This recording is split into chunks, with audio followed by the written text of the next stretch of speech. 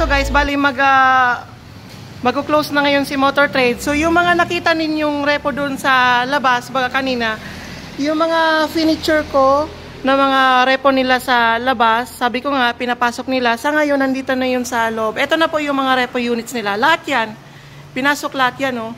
Kaya kung mga kung nakikita ninyo ay pinuno yung uh, office nila. Yan. Yung iba nilagay doon sa bodega, ayan. Kitang-kita naman, punong-puno yung office nila, yan o. Oh. Yan yung mga branded kanina na uh, furniture ko. Saka ito na lahat yung mga repo.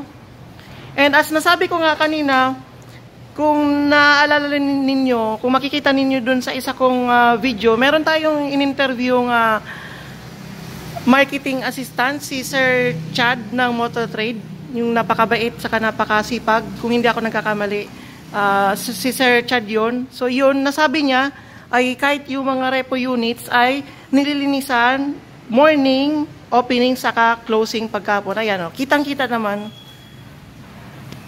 repo yan ayan o lahat yan lilinisan niya. Mamaya pa yan um, mamaya pa yan uuwi si Sir Chad. So kitang-kita kitang-kita po ang kanyang kasipagan. Hindi lang po siya lahat ng mga marketing assistant ng motor trade. Tulad niya sa katulad ni uh, ni Sir Arvin. Yan po, kitang-kita. Kitang-kita po kung paano nila, nila inaalagaan ang mga motorsiklo. Mapa-branded man o kaya repo naman. Bukas ulit, pagbukas nitong motor trade, ganun din yung gagawin niya. Ito na ang dami yung natambakan dito sa opisina. Oh. Ang daming ano. Pinasok lahat. Oh, ganyan kayo kamahal ng motor trade. Yan. Eh, sabi nga,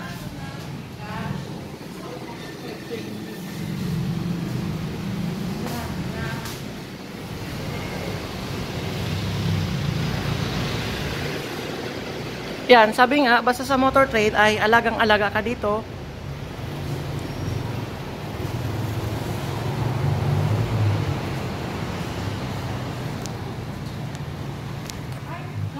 Mga units, kung nakikita ninyo, yan ang mga repo. Yun yung kaninang mga nasa labas no, na naka-display. So pinasok dito. So sabi ko nga, para iwas sila nakaw. Saka uh, malinis na malinis. So ito, talagang ito na, gabi na nga. So Tingnan natin kung anong, anong oras na ba. Uh, ah, 5.55. Magsi 6 o'clock na yan, no? Gagabi na. Yan. Malapit nang gumabi. Magsi 6 o'clock na. Pero ayan siya. Nililinisan yung mga unit. So, according sa kanya, nasabi niya uh, kanina, so bago siya umuwi, lilinisan niya lahat yan. Imagine guys, imagine po, lahat yan lilinisan niya. Lahat yan ng mga repo. Tapos mga branded. Tapos bukas naman, uh, ganun din yung gagawin niya. So, grabe. Wala, wala talaga ako masabi. Kahit ako yung ano, kudos talaga, grabe. Kudos sa mga marketing assistant ng motor trade. Grabe talaga. So, tara, tara tanungin natin siya kung meron pang mga nakikita ako mga ginagamit, hindi lang trapo, anuin natin, anuin natin, tanungin natin. Sir, excuse, pwede po bang matanong ka?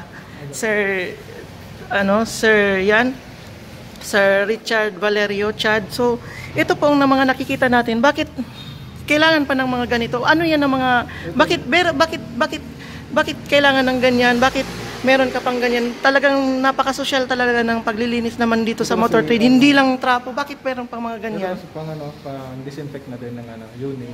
Kasi dahil sa panahon natin ng pandemic, iwasan natin yung ano, uh, ma-spread yung virus. Ngayon, ito naman ang base 1, kailangan parang pampakintat ng unit dahil uh, para mas maging ano siya. Ano yan na ginagamit mo sir? BS1 prote- ay, ay napa, ang mahal nito ha.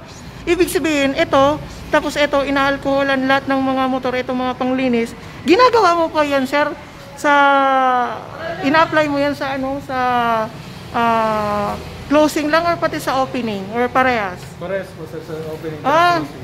Oh, talagang napakalinis talaga. So, alagang-alaga talaga yan. So, lalong-lalo na na yan na panahon ng pandemic ngayon, no? So, imagine lahat yan na, ano, lahat yan linilinisan mo. Kahit hindi pa ng pandemic, talagang ganito, ganito na ginagawa namin. Plus, Pero- na, plus na lang itong nagdi-disinfect kami ng unit na. Pero sir, yan ang, pag, yan ang ginagawa ninyo, lalong-lalo mo, yan ang mga pagdi-disinfect ng mga ng mga units, maparepo man o mapabranded man, ay gusto ko lang linawin, ginagawa ginagawa ninyo ba to ah, ngayon lang na pandemic na may COVID? O talagang kahit noon pa talaga ever since?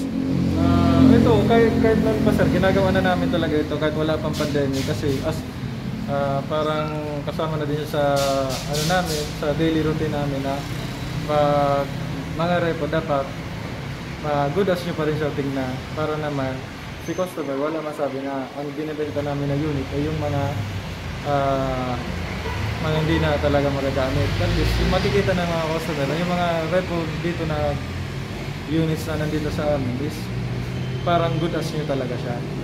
So yan, so yan, napakalinaw pala no, kahit pala grabe, kahit pala ah, noon hindi pa pandemic ay nililinisan, dinis, dinidisan, ganyan ang ginagawa nila, opening saka closing, talagang talagang grabe, talagang basta sa motor trade ah, alaga ka.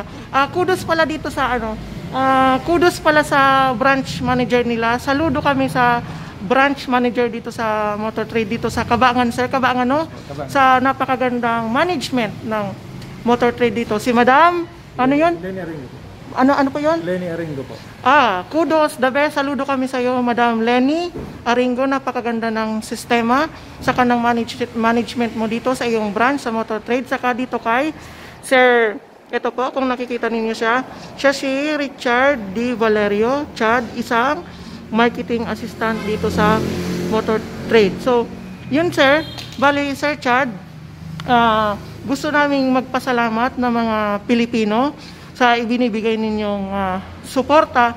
Saka wala kaming masabi, kitang-kita kitang-kita naman dito sa ah, video kung papaano mag-alaga ang motor trade. So wala wala kaming masabi, lalong-lalo na sa iyo. Isa kang napakasipag, napakabait, saka grabe, saludo talaga.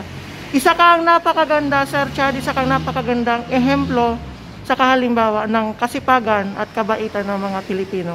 So Sir Chad, maraming maraming salamat po. Thumbs up ako sa iyo, kami mga Pinoy sa iyo. So ano po yung gusto mong ipaabot o mensahe sa ating mga manonood sa buong Pilipinas, sa mga customers natin, saka kung may gusto ko na ring batiin, so batiin mo na. Nakikita ka po ngayon sa buong Pilipinas.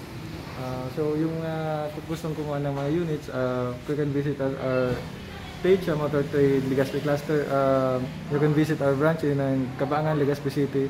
And yung sa mga ibang lugar naman, you can visit yung Motor Trade Nationwide Corporation para po ma-assist namin kung, kung kayo, yung mga needs nyo po sa mga pamotor man o mga pa parts or service po sir.